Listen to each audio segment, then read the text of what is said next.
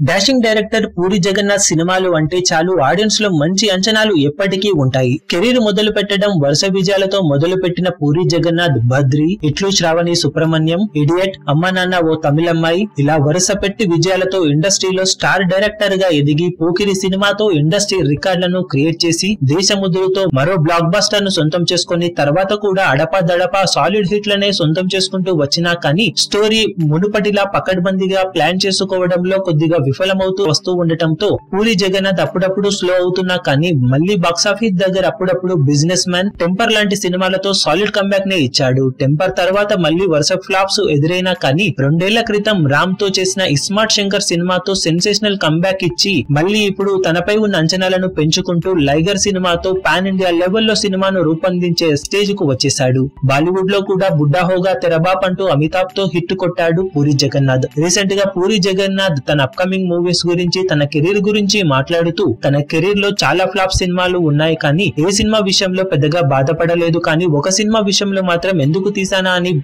చాలా బాధపడ్డానని ఆ సినిమా రవితేజతో తీసిన దేవుడు చేసిన మనుషులని చెప్పుకొచ్చారు. రవితేజతో అప్పటికి అద్భుతమైన విజయాలను తెరకెక్కించినప్పటికీ కూడా ఈ సినిమాను ముందు మేము అనుకోలేదని మొదట్లో ఇడియట్ టూ కథను అనుకున్నామని కథను రూపొందించే టైంలో కొన్ని మార్పులు చేర్పులు చేయడంతో ఆ కథ ఇటు నాకు కానీ రవితేజకు కానీ నచ్చకపోవడంతో ఆ కథను వద్దనుకొని అసలు ఒక కథనే లేకుండా ఒక సినిమా తీయాలని ఒక ఎక్స్పెరిమెంటల్ మూవీలా దేవుడు చేసిన మనుషులు సినిమాను చేశామని కానీ అది కంప్లీట్గా నిరాశపరిచే రిజల్ట్ను ఇవ్వడంతో తన కెరీర్లోనే అత్యంత చెత్త సినిమా ఏదైనా ఉంది అంటే అది ఈ సినిమానని అనుకున్నానని పూరి జగన్నాథ్ తెలియజేశారు ఈ సినిమాతో పోల్చితే మరిన్ని డిజాస్టర్స్ కూడా ఉన్నప్పటికీ పూరి జగన్నాథ్ మాటల్లో దేవుడు చేసిన మనుషులు సినిమా అత్యంత చెత్త సినిమానని చెబుతున్నారని చెప్పవచ్చు. రవితేజతో మూడు బ్లాక్ బస్టర్లు ఒక మంచి కంటెంట్ ఓరియంటెడ్ మూవీని ఒక డిజాస్టర్ మూవీని తెరకెక్కించిన పూరి జగన్నాథ్ త్వరలోనే ఒక నికార్సైన కంబ్యాక్ను రవితేజతో కూడా ఇస్తానని చెబుతూ ఉండటం విశేషం.